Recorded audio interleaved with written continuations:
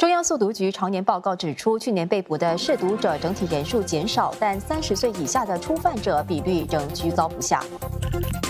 数据显示，去年被捕的涉毒者有三千零一十四人，年比减少百分之十五。当中呢，落网的初犯者有一千一百四十三人，虽然比前年少了百分之二十二，但仍占总人数的百分之三十八。其中超过六成的年龄不到三十岁。报告也指出，当局去年总共起获的毒品市值约一千一百六十万元，